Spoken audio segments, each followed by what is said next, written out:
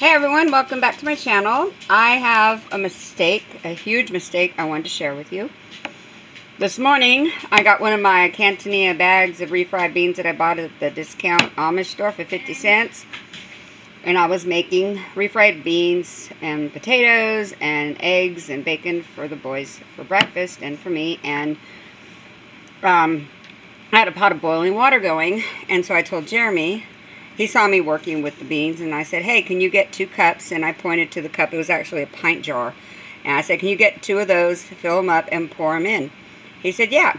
So I turned my back, and by the time I turned around, he poured two pints into my beans, as opposed to into the pot of boiling water that I wanted him to add it to. So, at first I got mad, and then I just, I just held my breath, and I went, all right, what am I going to do with that? it was water. So I thought, well, at first I started adding the roux, and I thought, you know what, I'll just make it thick. So I did. So I had already done the roux initially, but then I did more with cornstarch, and then I started to really look at it, and I thought, I've canned lots of stuff, but I have not canned pinto bean soup, and I've never made it. when you cook from scratch, you just kind of figure things out. So I added three more over, over while I was cooking, I ended up adding five more. So I added five more pints of water. I, um, I chopped, I cut up some potatoes, some russet potatoes into small pieces. I got bacon and ham. And I fried them up into little chunks and I put them in here. And I put cumin, salt, pepper, garlic powder, onion powder, and um, some cilantro, because that's amazing and cheddar cheese because I put cheddar cheese in my beans. When I make refried beans, I put cheddar cheese, so I thought, why not? And then I put my heat, which is a jalapeno garlic and onion mixture that I that I make. You know, if you haven't seen that, I did a video on it, but it's just jalapeno garlic and onion roasted in the oven, and then you pureed it, and then I can it. So pretty pretty basic. But I made this soup, and I tasted it. Never made it before. It is so amazing.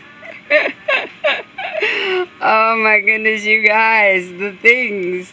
I could have just thrown them out. I could have got mad and yelled and screamed. So many things I could have done. But now, this will fill up five quarts of meals. Because one quart, I can feed all of us. Because I empty, a, I'll make a roux with the first one. Doesn't matter that I made a roux before. I'll make a roux. And then, and then I'll pour the quart in and then I will add a little bit more water, and that will make enough for four big bowls of soup. And they're plentiful of potatoes and everything else. So, yeah, that was our huge mistake today. Turned out to be an amazing thing that he did. And this tastes so good, you guys. It is so delicious. You should try it. Cooking is not a science. It's pretty basic. Once you do this, I wouldn't advise going with corn and broccoli. Don't be doing that to your food. Certain dishes, yes, but when you make something like this, just keep it keep it breakfast style. There's bacon and potatoes in there.